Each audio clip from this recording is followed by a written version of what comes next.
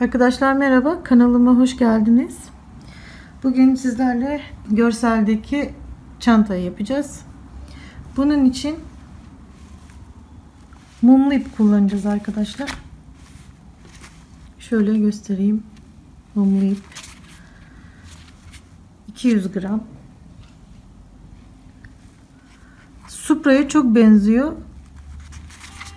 Yani ben de Supra mı mumlu ip mi gerçekten çok anlayamadım ama bence Supra diye düşünüyorum. Ama üzerinde gördüğünüz gibi mumlu ip yazıyor. Evet arkadaşlar 5 numara tığ kullanacağım. Makasa ihtiyacımız var. Evet arkadaşlar zincir çekerek başlıyorum.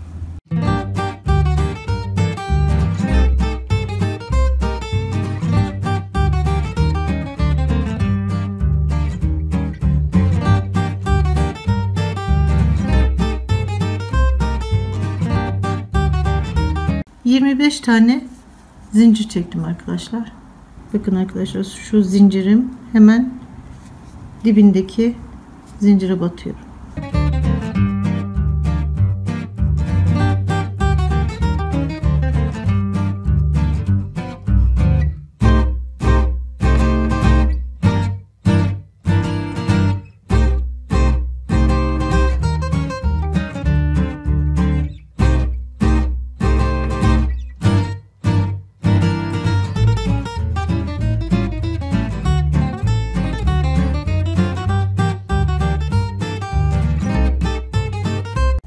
Bu şekilde sıra sonuna kadar sık iğne yapıyoruz.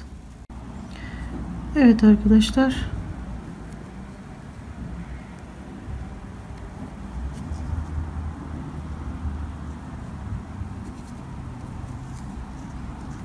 Son zincirimizi 3 tane batıyoruz. 1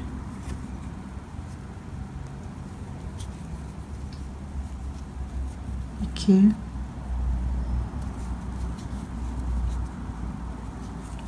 3 ve şimdi karşılıklarına gelecek şekilde geri dönüyoruz. Şuradaki boşluklara batıyoruz artık.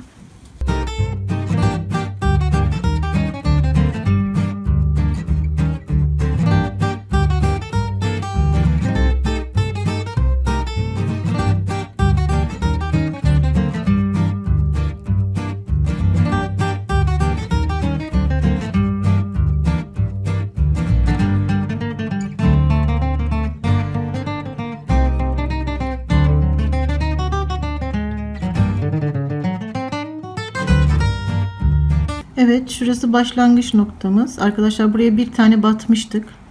Şimdi buraya bir tane daha batıyorum. Ve şu kısma bakın başladığımız kısımdan tığımı geçiriyorum. Bir ilmek alıyorum ve ilmeği kaydırıyorum. Bir tane zincir çekiyorum. Ve hemen şu önündeki boşluğa çift batıyorum.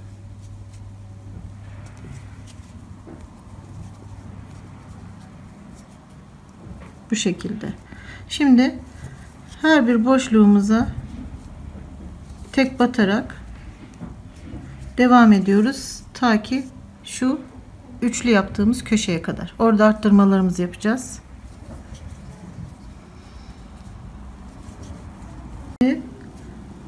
Üçlü yere geldim. 1 2 3 Şimdi arkadaşlar hemen şuraya çift batıyorum.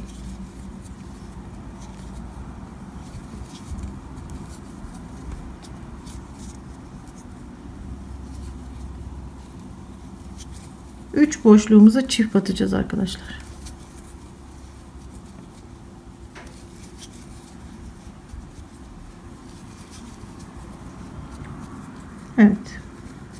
şekilde. Şimdi tek batarak devam ediyoruz.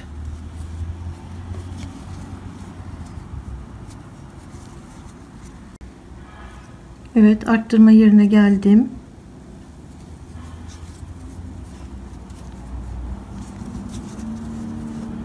İki tane hemen yanına yine iki tane bir iki üç tane arttırdığımız nokta oldu arkadaşlar. Bakın bir iki üç. Şurası birleştirme yerimiz. Yine şuradaki bölümden tığımızı geçiriyoruz. İlmeği alıp kaydırma yapıyoruz. Ve bir tane zincir çekiyoruz. Hemen dibine bir tane batıyorum. Arkadaşlar şimdi iki tane batıyorum. Hemen önündeki boşluğa. O da aynı zamanda çift battığım yerin ortası oluyor. Ya bu ip anlaşılması biraz güç. Takip gerekiyor arkadaşlar.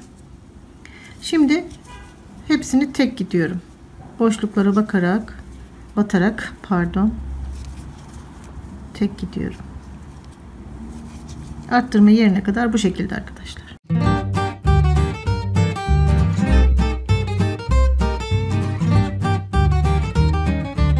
Arttırma yerine geldim arkadaşlar. İki tane battığım nokta vardı biliyorsunuz bir önceki sırada. Şimdi onun tam ortasına yine iki tane batıyorum.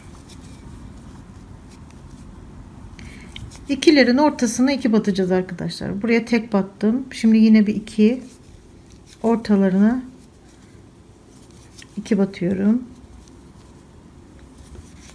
Tek batıyorum.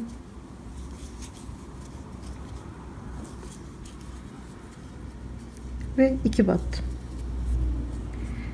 Bir çift, bir tek, bir çift, bir tek, bir çift, bir tek.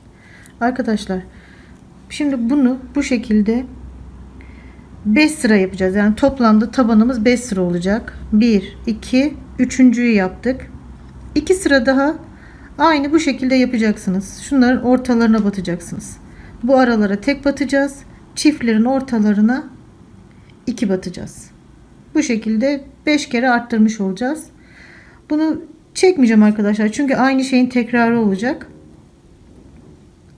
5 sıra yapalım. Yani toplamda ama diyorum bakın 1 2 3 2 sıra daha aynı şekilde çiftlerin ortasına batarak arttırmalarımızı yapalım. Evet arkadaşlar tabanım 27 santim ve 8 santim. Şimdi burada 6 numara tığa geçiyorum arkadaşlar. Tabanı 5 ile yapmıştık. 6 numara tığa geçiyorum.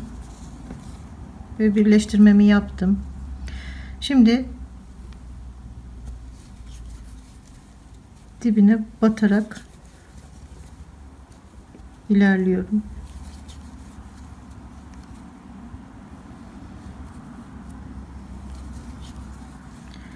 Bu sırada hiçbir arttırma yapmadan böyle tek sıra öreceğiz.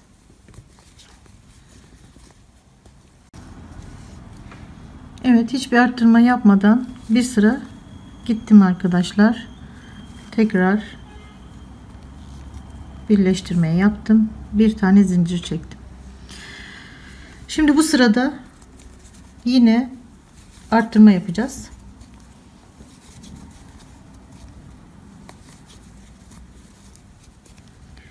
Yine çiftlerin üzerine geldiğimiz zaman arkadaşlar bakın şurada bir çiftimiz var en sonda. Yine orada bir arttırma yapacağız.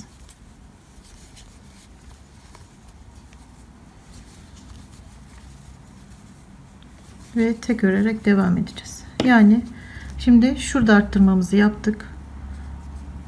Burada şuradaki çiftin üstüne arttırma yapacağız. Dönüp geldiğimiz zaman bir de burada bir sıra düz öreceğiz hiç arttırmadan öbür sırayı arttırarak bu şekilde bir kat sıra daha öreceğiz arkadaşlar şimdi arttırma yerlerini göstereceğim.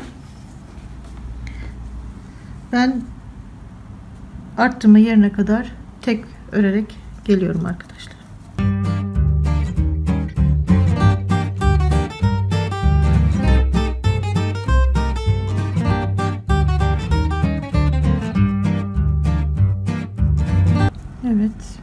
Arttırmamın üstüne geldim. Burada iki tane arttırıyor. Bakın arkadaşlar. Şurada. Tekrar teklerle devam ediyorum.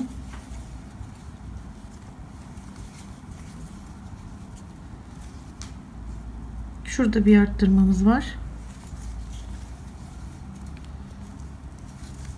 Araları saymaya gerek yok. Arttırmanın üstüne geldiğimiz zaman arttırıyoruz.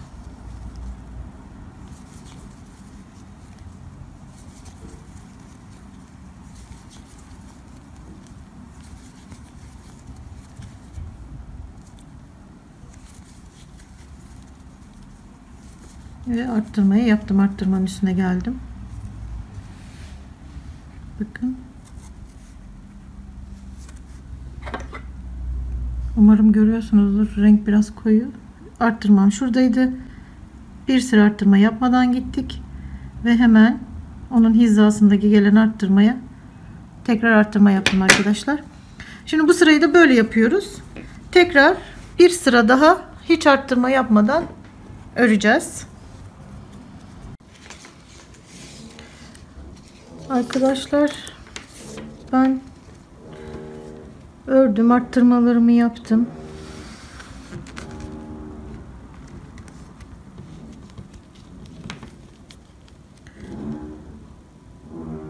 40 buçuk 41 gibi eni boyu da 22 buçuk santim oldu arkadaşlar. Şimdi bu da zaten böyle içe doğru kıvrılmaya başladı. Şöyle. Bakın şu şekilde duruyor. Arkadaşlar 5 tane başladığımız şu ilk 3 çift battığımız andan itibaren sayıyoruz. 5 kere e, hiç boşluk bırakmadan yani burada bir sıra arttırmadan gittik. 5 sıra sürekli arttırdık arkadaşlar. Ondan sonra bir sıra arttırmadan ve bir sırada arttırarak yine bu noktalardan 3 tane noktadan arttırma yaparak böyle bu şekilde 41 santim 42 santim ipin ipinize göre de değişir. Mesela bu ipi e, bu çantayı e, ribon ipten de yapabilirsiniz. Ya da makrome ipten de yapabilirsiniz. Yani bizim için ölçü önemli. O yüzden siz makrome ipten yapacak olursanız mesela 41-42 santime ulaşabilmek için bayağı bir arttırmanız gerekir. O yüzden ölçü önemli. Yani bu ölçülere ulaştıktan sonra bu çantanın formunu yakalayabilirsiniz arkadaşlar. Dediğim gibi 41 santim olana kadar bir sıra arttırmadım. Bir sıra arttırdım. Ona takılmayın yani. Hangi sıralarda arttırdığıma takılmayın. Sadece bu ölçüyü elde edelim. Şimdi ben yeşille biraz daha devam edeceğim. Sonra yarısından itibaren de e, camel rengine geçeceğim arkadaşlar. Dediğim gibi bunlar 200 gramlık ipler ve e, ilk çilemden bu kadar bir ipim kaldı arkadaşlar. Bunu bitireceğim. Baktım az geliyor yeşil. Bir yeşil daha takacağım arkadaşlar. O şekilde öreceğiz. Şimdi bunu böyle e, sap kısmına kadar örelim arkadaşlar. Ondan sonra da sap kısmını nasıl olduğunu göstereceğim. Arkadaşlar ben sap kısmına geldim. Şimdi size şöyle bir ölçü vereceğim.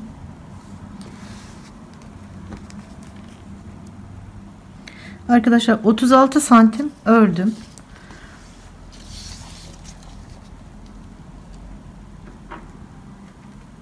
Eni 45 santim. Arkadaşlar şurada ilmek belirleyicilerle sap yerini ayarladım. Eni 45 santim. Şurası da şöyle 15 santim sap yeri ayırdım arkadaşlar. ilmek belirleyici ile de belirledim yerlerini. Ve şimdi tekrar örmeye başlıyoruz.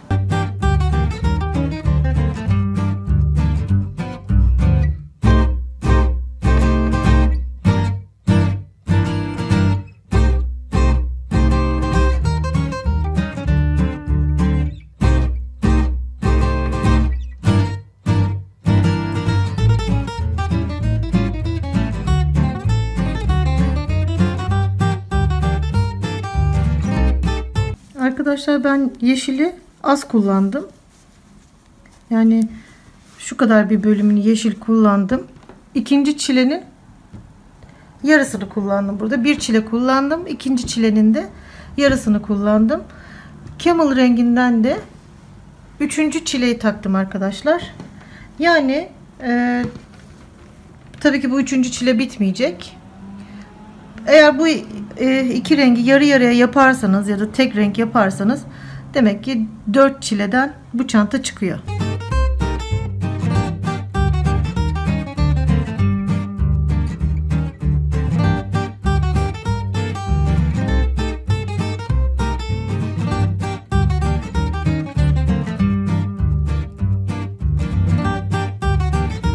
Evet arkadaşlar belirleyicimin olduğu noktaya da batıyorum.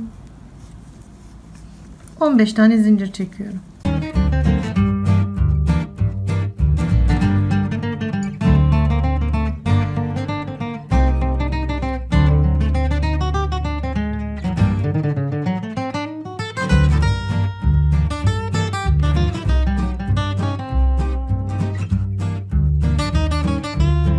ve belirleyicinin olduğu noktaya birleştirme yapıyorum. Arkadaşlar burası 15 santim. 15 tane de zinciri var. Şu araları saydığımız zaman 15 sık iğnemiz var şurada. Dolayısıyla 15 zincir çekiyorum. Ve artık örüp gidiyorum. Aynı işlemi karşı tarafta da yapacağım. Burada da. Ve bu şekilde öreceğiz arkadaşlar.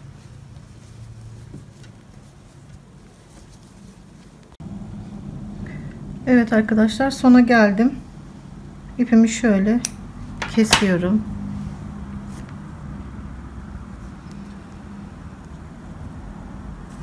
Şu şekilde.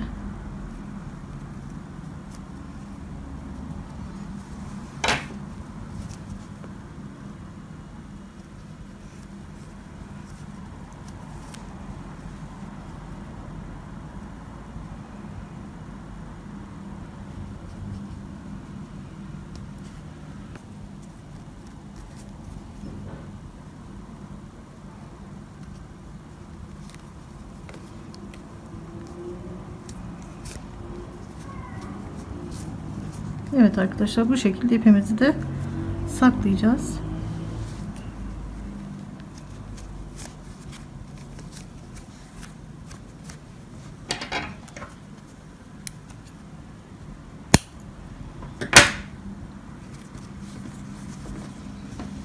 Evet çantamız bitti. Son ölçüsünü de vereyim. Şurayı arkadaşlar 4 santim ördüm. 1, 2, 3, 4, 5. 5 sıra gittim. Bu iple tabii ki. Ama siz herhangi bir iple yaptığınız zaman da 4 santim yeterli. Tam boyu 41 santim oldu arkadaşlar. İçine astar dikebilirsiniz. Yanlarına şöyle çıt çıt da dikebilirsiniz ama bu ipte bu şekli verdiğimiz zaman bu çanta duracaktır. Şöyle. Şuralara çıt çıt dikebilirsiniz. Şu şekilde.